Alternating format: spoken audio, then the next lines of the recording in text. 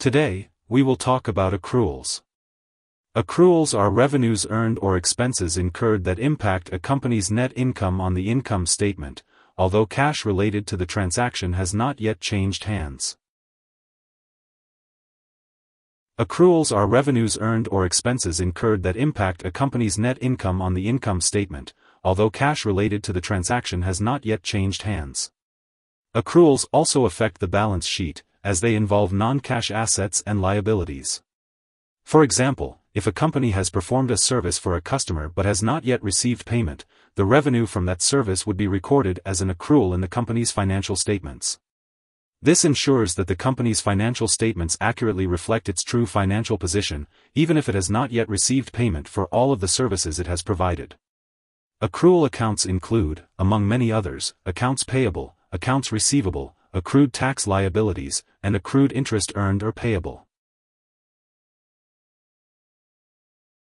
An accrual is a record of revenue or expenses that have been earned or incurred but have not yet been recorded in the company's financial statements.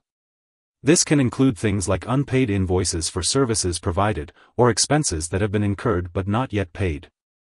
Accruals are important because they help to ensure that a company's financial statements accurately reflect its true financial position, even if it has not yet received payment for all of the services it has provided or paid all of its bills.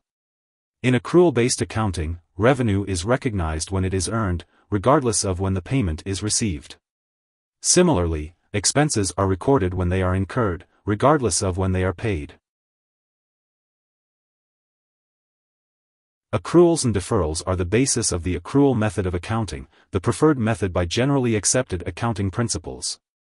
Using the accrual method, an accountant makes adjustments for revenue that have been earned but are not yet recorded in the general ledger and expenses that have been incurred but are also not yet recorded.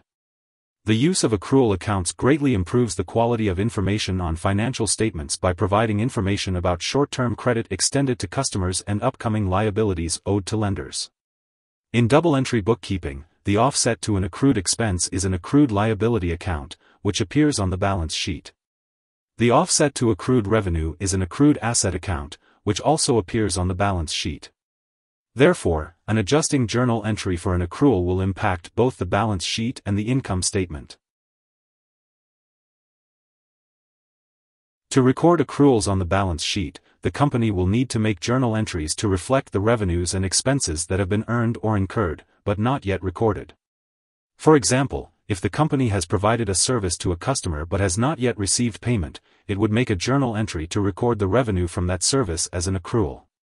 This would involve debiting the accounts receivable account and crediting the revenue account on the income statement. An example of an accrued expense for accounts payable could be the cost of electricity that the utility company has used to power its operations, but has not yet paid for. The effect of this journal entry would be to increase the utility company's expenses on the income statement, and to increase its accounts payable on the balance sheet. The utility company generated electricity that customers received in December.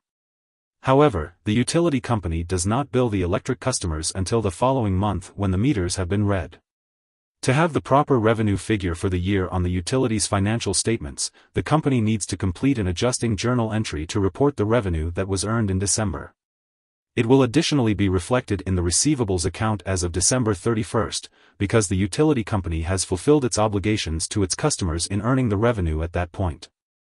The adjusting journal entry for December would include a debit to accounts receivable and a credit to a revenue account. The following month, when the cash is received, the company would record a credit to decrease accounts receivable and a debit to increase cash. Here are five key takeaways. 1. Accruals are needed for any revenue earned or expense incurred, for which cash has not yet been exchanged. 2. Accruals improve the quality of information on financial statements by adding useful information about short-term credit extended to customers and upcoming liabilities owed to lenders.